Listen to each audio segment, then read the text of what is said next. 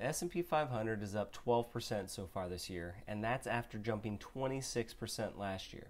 We're constantly bombarded with how well tech and chip and AI stocks are all doing. It's easy to forget that these are just a handful of stocks. There are hundreds of other stocks, and many are good buys. And this is what I wanted to talk to you about today. I've found five really strong stocks, stocks that are strong long term investments that are in a dip, and you may want to consider taking advantage. We're starting off with what I see as the biggest value of the five stocks that I'll talk about in this video. PayPal is down 79% since peaking at 308 bucks in 2021. It's currently trading at 67 bucks a share. It all started with the pandemic.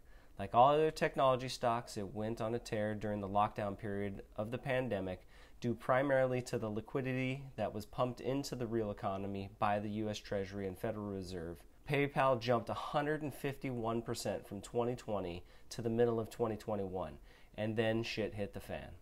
It first started with earnings misses due to slowing revenues and rising headcount costs. And then eBay moved away from them as their preferred online payments platform. Shortly thereafter, their CFO left, and just last year, their CEO retired.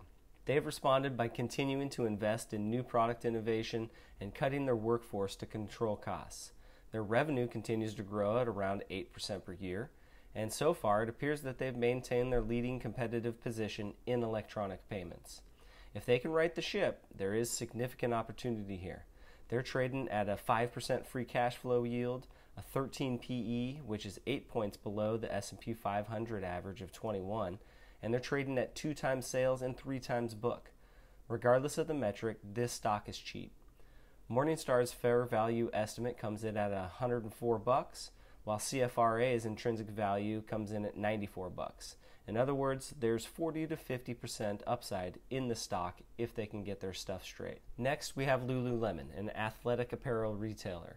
They're down 39% so far this year, due mainly to lowered 2024 guidance, which took Wall Street's earnings growth estimate of 14% and lowered it down to the 11 to 12% range. 11 to 12% is still quite good, but Wall Street didn't like it. There are some concerns with slowing consumer spending and a recession, which would hit companies like Lululemon particularly hard because they sell luxury items. Robust growth in their revenues, free cash flow, and earnings is still intact, and will be even if sales come in at the 11 to 12% range instead of 14%.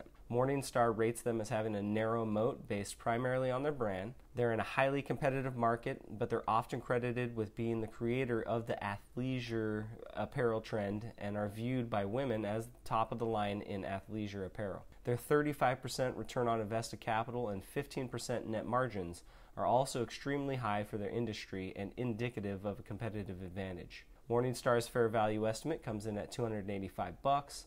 CFRA's intrinsic value calculation comes in at 374, which means we're looking at about 15% upside potential. Or if you compare it to the 479 bucks per share it was trading at earlier this year, there is 49% potential upside in this stock. Our third stock is Ulta Beauty, which is the largest specialty beauty retailer in the US. Ulta is down 20% this year, and the story is very similar to Lululemon. They recently lowered guidance, and there are some concerns with slowing consumer spending and a potential recession on the horizon. But the fundamentals of their business remain incredibly strong with 10 to 15% revenue and free cash flow growth and earnings per share is growing even faster. Morningstar rates them as having a narrow moat due primarily to its brand. They carry more makeup hair care, skin care, fragrance, and bath products and brands than any other specialty beauty retailer in America. And with its 40 million customer loyalty program members, they have access to a boatload of customer behavioral data that feeds right into their marketing efforts. The fact that they consistently generate 30% plus returns on capital employed is a strong indication that they enjoy one and probably more competitive advantages in their industry. Morningstar's fair value estimate comes in at 410 bucks, while CFRA's intrinsic value calculation comes in at 614 bucks, which means we're looking at about 59% upside potential. Or if you compare it to the $567 per share it was trading at earlier this year, there's 47% potential upside in this stock. Our fourth stock is one everybody knows, and it's Starbucks, the coffee shop. Starbucks is down 12% so far this year due to a huge miss in their uh, last earnings release. There's no sugarcoating it, it was bad.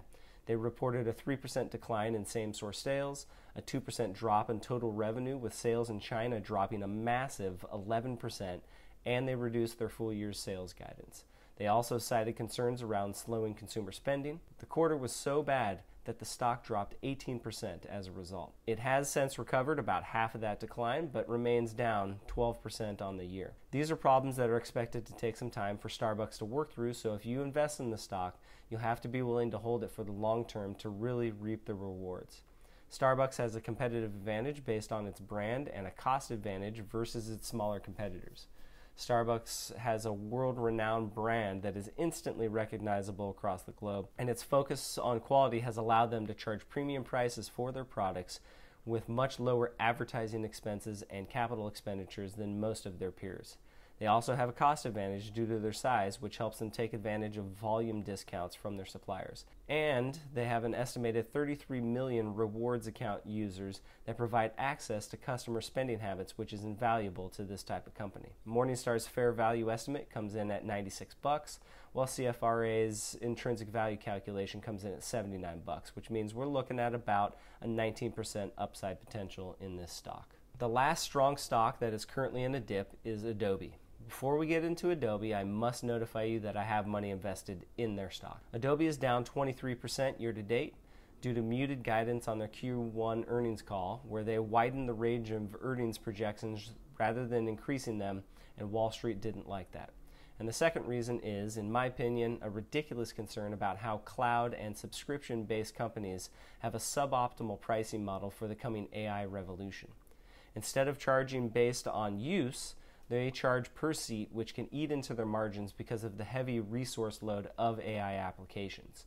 The argument goes that their costs will increase as usage increases, but the revenues will not. This is ridiculous, in my opinion, at least as far as Adobe is concerned, because they could easily start, and in many cases they already do, charge based on usage for the AI applications, where the user gets some credits as part of their subscription, but if they want to use more than that, they have to purchase more credits. So this is a non issue for me. Now, if we look at Adobe, it's a very strong company with nicely increasing revenues, cash flows, earnings, and they're highly profitable with little debt. Additionally, they have a strong competitive position in the markets they do business in. They were the pioneers of the PDF file and photo and video editing software, and the creative industry has standardized around their products as a result. If we take a look at all the application that Adobe offers, like Photoshop, Premiere Pro, Acrobat, Illustrator, stock photos, Firefly, etc., they are all immediately recognizable offerings that are used by a very high percentage of individual creators and creative businesses around the world. And as more and more creators adopt their applications as their go to creative software, it becomes imperative for others to follow suit so that they can successfully collaborate with other creative professionals. They also benefit from switching costs. Once a business adopts the Adobe suite and they train their staff on these applications, it becomes expensive, time consuming, and operationally risky to move to a competing suite of creative products. Let's take a look at the price estimates. Morningstar fair value estimate comes in at 610 bucks a share. CFRA has their intrinsic value at 446 bucks a share, which means we're looking at about 33% upside potential. Well, there you have it. Five strong stocks currently in a dip. Let me know your thoughts in the comments below and we'll see you in the next video. Make sure you like and subscribe so you don't miss any videos when I release them.